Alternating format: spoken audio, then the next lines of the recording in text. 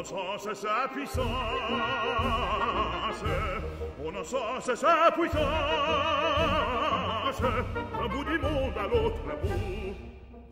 Pour fêter la femme idole, quasi peuples confondus au bruit sombre des écus, dans cette une ronde folle, autour de son pied d'estal, autour de son pied d'estal toi conduit le bal, conduit le bal, et Satan conduit le bal, conduit le bal. Et Satan conduit le bal, conduit le bal, conduit le bal, et Satan conduit le bal, conduit le bal, conduit le bal.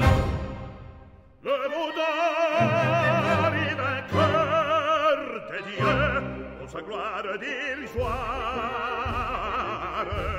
consacroire dérisoire